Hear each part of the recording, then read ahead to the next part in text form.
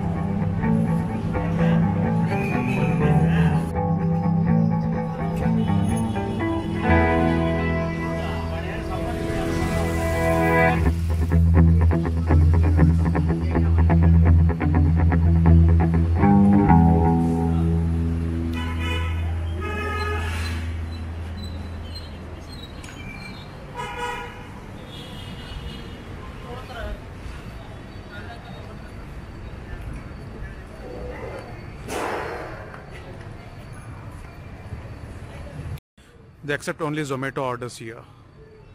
Kitchens Madhevpura.